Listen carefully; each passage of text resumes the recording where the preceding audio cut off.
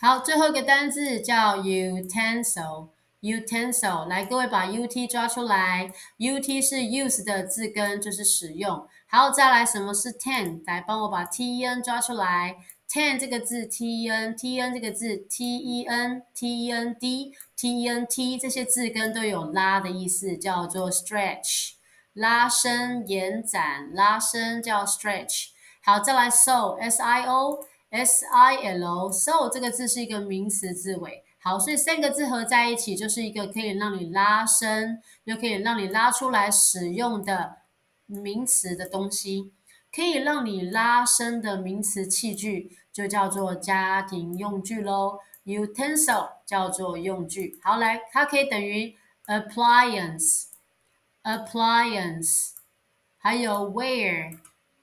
Where 器具哈，它可以当 applying 这个 apply 这个字，等一下就会看到 apply 叫做应用、运用，可以让你运用的名词东西也是家电用具啊。来例句是：The store on Sixth Avenue is having a sale on kitchen utensil, kitchenware, cookware。好，这个呢，the store 这间商店，它 on the Sixth Avenue，它在第六大道。Avenue 是大道的意思哦，第六大道上的那间店叫做 The Store on Sixth Avenue。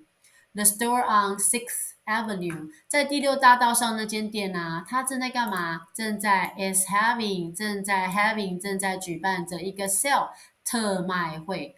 呃，have a sale Have a sale 就是有一个特卖，在哪方面的特卖呢？他们专门这次特卖是 on 在哪方面？on the kitchen utensil，专门在促销 kitchen 厨房上面的 utensil，可以让你拉伸使用的器具，厨房用具。那厨房用具，各位可以用 kitchen utensil，你还可以换成刚学过的 kitchenware，对这个字也是器具，厨房器具，也可以直接用 cookware，这个 cook 是厨具，cook 是煮饭的、烹饪的 ware。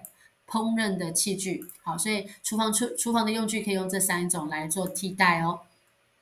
好，那接下来我们下一个章节，我们介绍第十八个单元了。那我们今天呢是七这个单元呢就介绍到这里喽。